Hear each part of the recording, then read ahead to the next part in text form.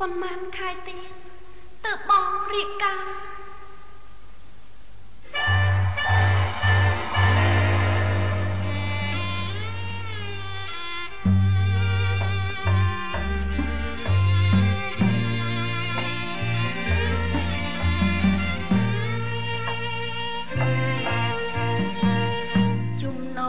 ត្រជាងខ្យល់ភ្លាច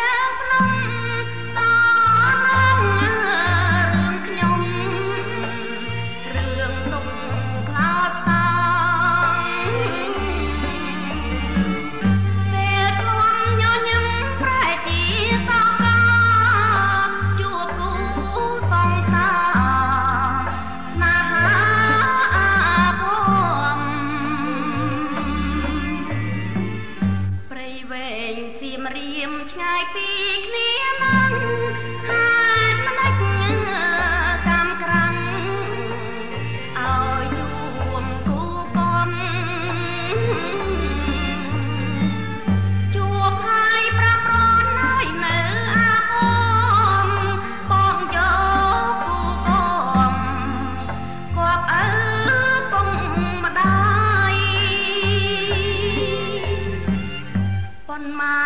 see the